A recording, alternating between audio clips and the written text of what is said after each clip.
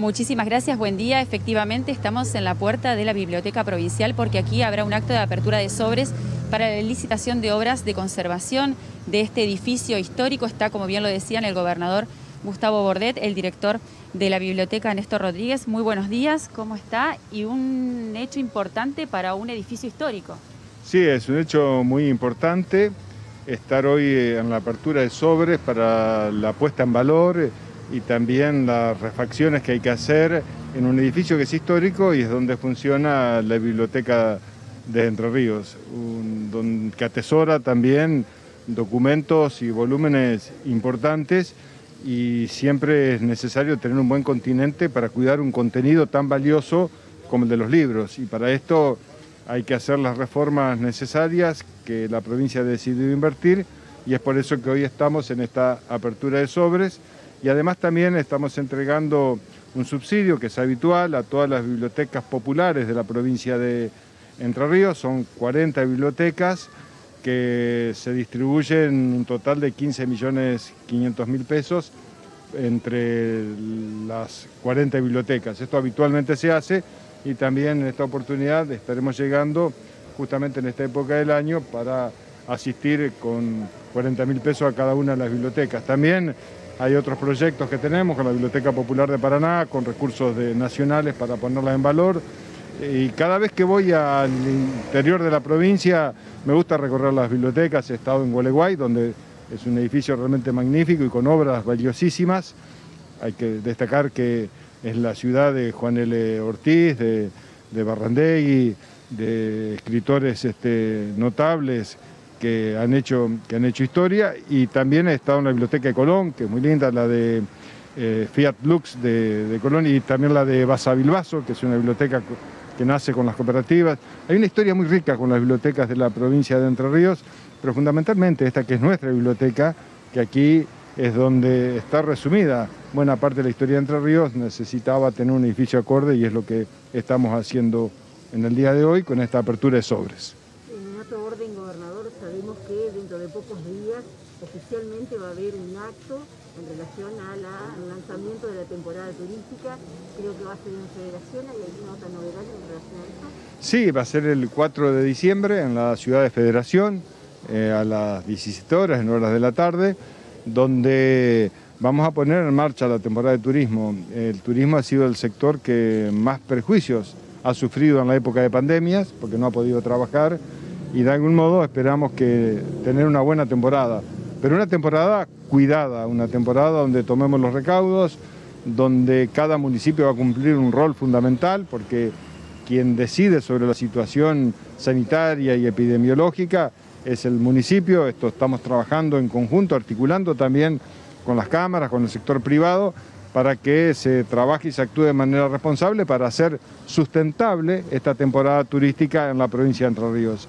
Elegimos Federación porque es la ciudad turística termal que más sufrió y que más perjuicio le, generó eh, y por eso es que estamos de algún modo generando un reconocimiento y como le decía, esperamos tener una, una buena temporada, pero es responsabilidad de todos trabajar para que lo hagamos manteniendo conductas que permitan distanciamiento, que permitan generar condiciones que eviten la transmisibilidad del virus. Tenemos entendido que el seguro, que en su momento se había dicho que se iba a pedirle a los turistas, ahora no va a ser obligatorio. No, porque la, idea era pedir un seguro que cubra la internación para que no se generen gastos en los hospitales públicos.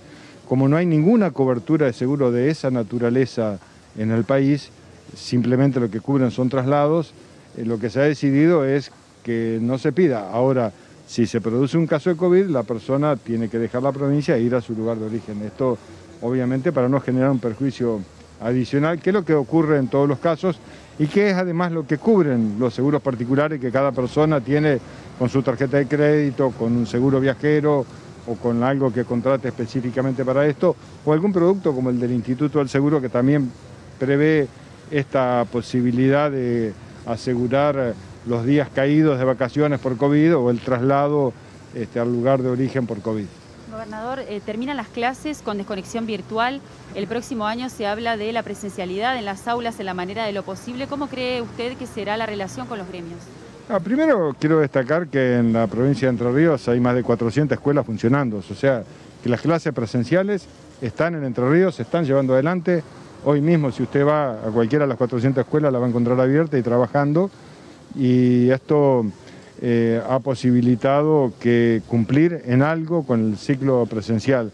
Pero el ciclo virtual eh, ha estado permanentemente. Yo ayer estuve en Nogoyá y estuve recorriendo una escuela que acabamos de inaugurar y conversé largo y extenso con el personal directivo, con el personal docente, con las cocineras que estaban allí trabajando y le manifestaba mi gratitud como gobernador porque en épocas muy duras de pandemia no se podía eh, realizar las actividades de manera presencial, pero se llegó con el contenido curricular a cada alumno, a veces virtualmente, otras veces con la tarea escrita para que pueda llevarse adelante, pero se cumplió con los objetivos. Eh, creo que pese a las dificultades, estamos terminando un ciclo lectivo en un año realmente muy complejo. Yo fui docente muchos años y nunca imaginé poder tener una situación de esta naturaleza donde por un hecho inédito que afecta al planeta se haya visto resentido el sistema de clases. De todos modos, nosotros tenemos todo preparado para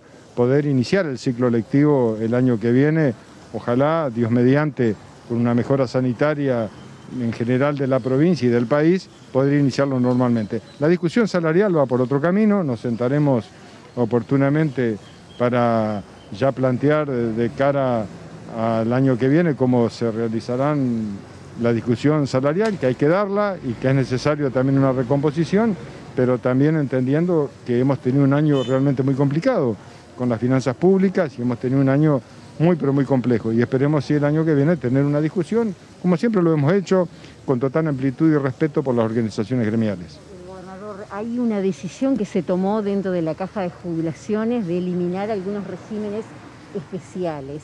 Eh, básicamente me gustaría tener la palabra suya, digamos, usted había estado unas horas antes hablando con el titular de la caja, por qué se toma esta decisión y si vienen otras decisiones en relación precisamente al sistema previsional. No, a ver, nosotros tenemos que hacer sustentable y sostenible la caja de jubilaciones de la provincia de Entre Ríos, porque es fundamental que el sistema previsional pueda eh, eliminar determinados privilegios para que quienes hoy están aportando puedan tener los, mismos beneficios que hoy quienes están. Y esto son correcciones que permanentemente se hacen y que están fuera de la ley de jubilación, de la caja de jubilación. Esto está por fuera, son resoluciones que oportunamente se habían tomado y que se drogan, pero nosotros entendemos que siempre es propicio dialogar y encontrar soluciones y cumplir con nuestros compromisos como lo estamos haciendo. Hoy, por ejemplo, ya hemos mm, publicado el cronograma de pagos para toda la administración pública, tanto activos como pasivos, que es lo que tiene que ver justamente con la caja.